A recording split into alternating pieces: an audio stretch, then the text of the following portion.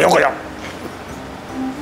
今日はですね、えー、また中古車の紹介です、えー、クロスカブのこれ色はシルバーになるのかな？ガンメタになるのかな？グレーになるのかな、えー、ちょっとねまあめ珍しい色ですよね。でえっ、ー、とょっとねいろいろ変わってるところもあるんでそれも踏まえてちょっとご紹介したいと思います。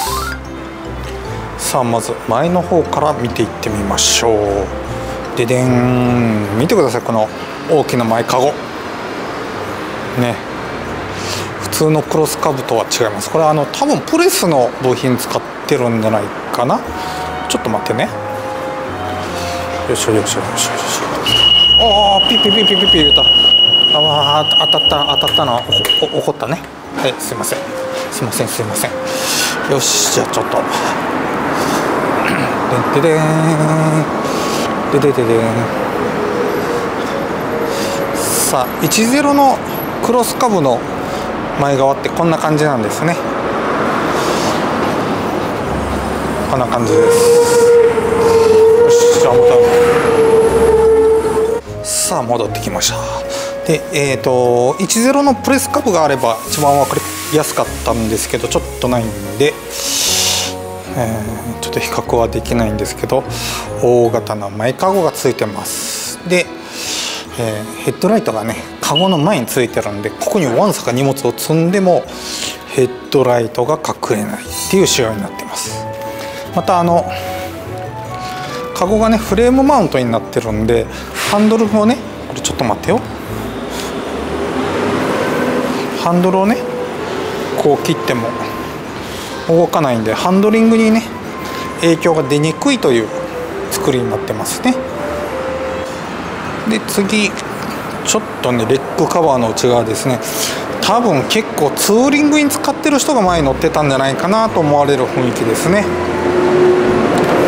えー、レッグカバーの内側にも、えー、内ポケットカゴがついてますね。でここにもキャリアがセンターキャリアが、えー、付けられています。でリアキャリアもねエクステンションであの大きくされてますね。なんでかなり、えー、荷台がキャリアが大きくなってます。さあ全体的にはこんな感じですね。ちょっとねやっぱり、えー、旅に使われたのかな結構ロングに使われたのかなっていう雰囲気で、えー、結構ねちょっとやり感はありますね。はいメーター見てみましょう。距離ですね。2万6890キロ。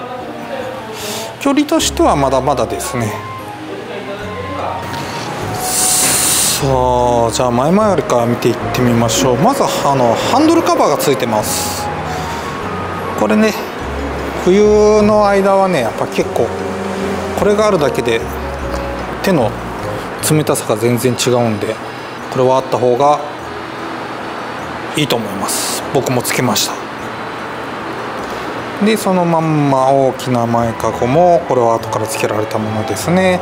でえっ、ー、とフロントフォークのブーツですね。これがちょっとねやっぱしらけてますね。うんちょっとしらけが出てますね。でタイヤ周りで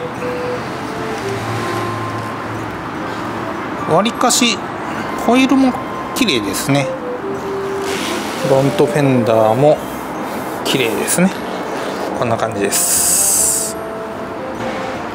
デックカバーに関してはちょっと白毛が出てきてますね。もう新品同様という感じではない感じです。エンジンの方に関してはまあそんなに気になるような感じのものはないと思います。綺麗ですね。綺麗です。さあマフラー。マフラーはねもう錆び出てますね。これはちょっと映るかな。よいしょ。ピッはい。こんな感じです。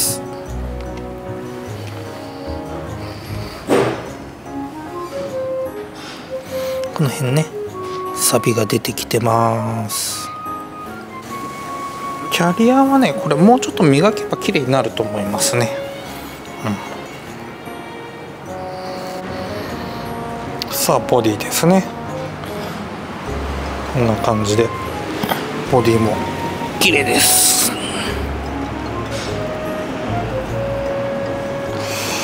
さあハンドル周りですね。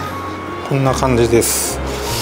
えー、ハンドルカバーついてるんですけどねこの辺ちょっとか錆がね両方とも出てますね、まあ、これは社外部品なんでねやっぱり錆には弱いですね。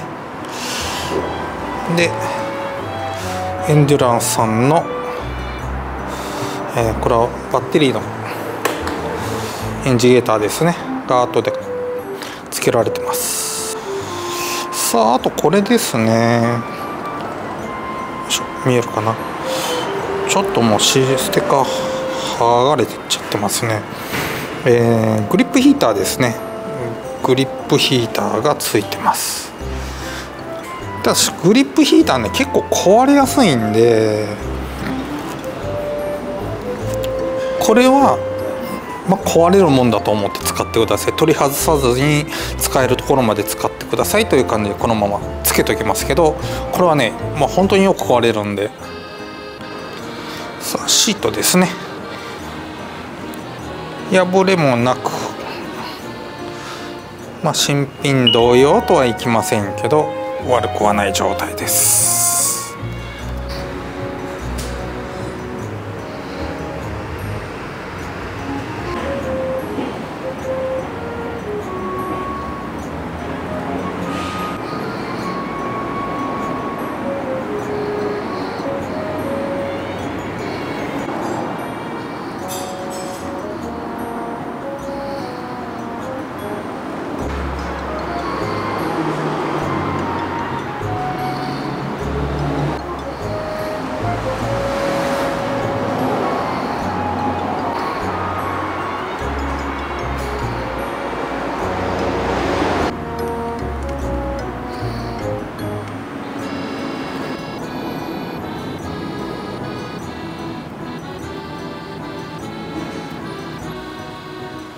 さあということで今日は JA10 クロスカブのご紹介でした。最後に、えー、今の、えーと、在庫をねちょっとサクサクっと見ていただいておしまいにしようと思います。さあ株の在庫ですね。こんな感じです。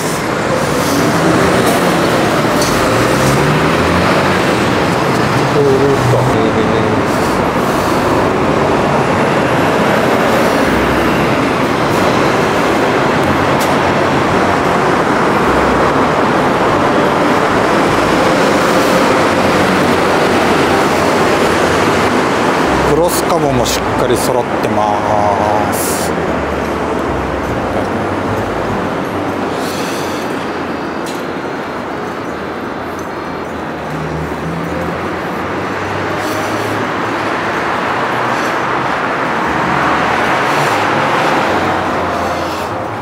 ということで以上です。さようなら。